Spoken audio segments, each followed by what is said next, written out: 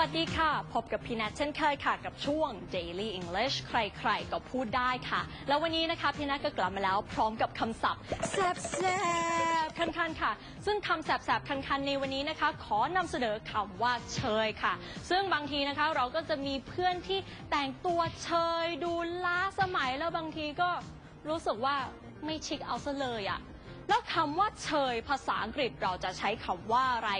ง่าย ๆ เลยค่ะคำว่าเชย หรือล้าสมัยนะคะ ภาษาอังกฤษเราจะใช้คำว่า old fashioned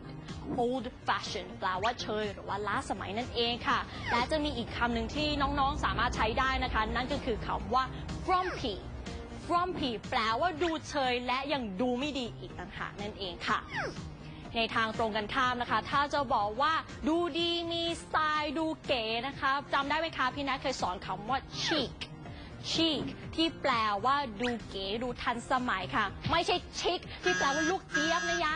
chic ที่แปลว่าเก๋หรือว่าทันสมัยค่ะ หรือเราจะใช้คำนี้ก็ได้นะคะคำว่า stylish stylish แปลว่าดูดีมีสไตล์นั่นเองค่ะ และตอนนี้น้องๆก็รู้แล้วนะคะสี่คำด้วยกันค่ะโอ้จัดเต็มมากๆเลยนะคะสองคำแรกนะคะที่แปลว่าเชย หรือว่าล้าสมัยนะคะ มีสองคำนั่นก็คือคำว่า old fashioned กับคำว่า frumpy ส่วนดูดีมีสไตล์ หรือว่าดูเก๋นะคะสองคำนั้นก็คือคำว่า chic และคำว่า stylish ง่ายๆไหมคะยังไงก็ลองไปใช้กันดูนะคะ